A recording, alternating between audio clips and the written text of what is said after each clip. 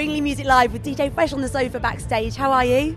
Yeah, yeah, really good. How you doing? Haven't seen you for a while. You did see me about two weeks ago, though. To be fair. Fresh and I sat and had a massive, big like chat, put the world to rights, well and truly. We were filming in a room full of ice, which was quite cold.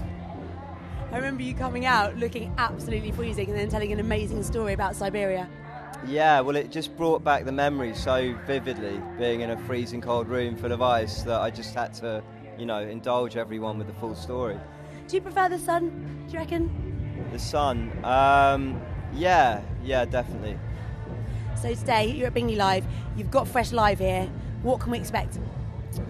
Um, well, we're just getting ready to. This is one of our last shows of like this sort of phase of Fresh Live. So, going into our next tour in November. Tickets on sale now at gigsandtours.com.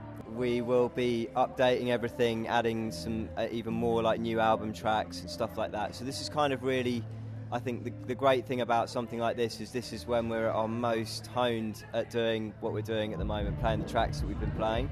So we feel really comfortable now, and we're just really enjoying playing. You know, and then we're going to go back into a really experimental, like feeling really nervous on stage, learning how to play everything again phase.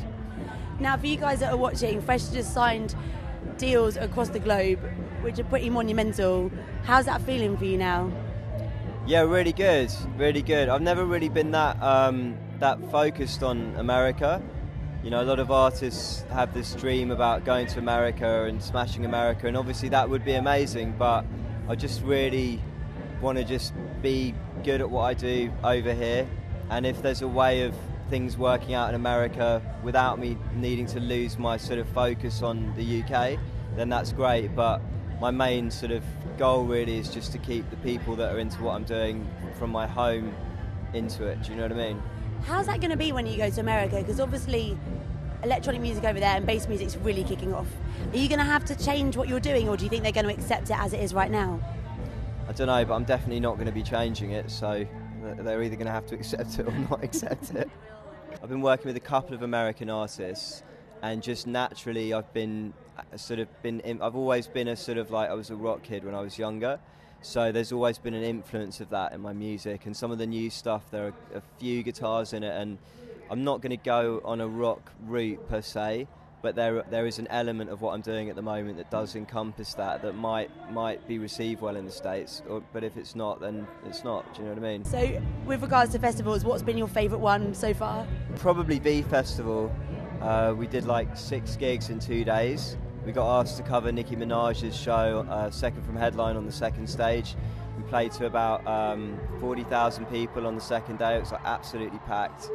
Um, that was just amazing, you know. And we only started the band six months ago, so to, to sort of like come from playing, and I remember the first gig was like literally 400 people, and to go from that in six months to doing second from headline at V is just like such an amazing feeling. So what's next for you from here? Because obviously you've just signed this massive deal. You're going to be all over the place. Like, what's next for you?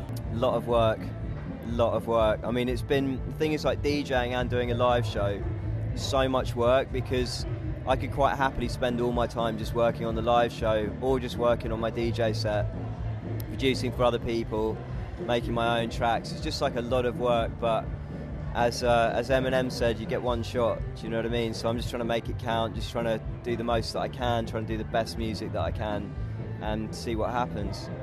It's awesome to have you here. Thank you so much. This is DJ Fresh at Bingley Music Live.